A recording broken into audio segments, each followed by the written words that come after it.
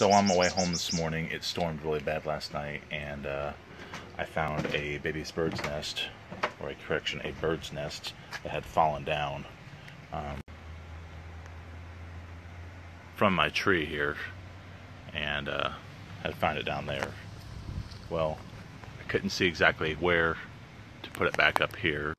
So with a trusty saw in a good spot, we found a good spot for it. And after putting the babies back in their nest, I'm proud to say that all is doing well. Uh, see if they poke their heads back out again. All is doing well, and Mama has visited them again, knows where the new nest is, and has been feeding them regularly. So uh, I think we have a success for today. So cute.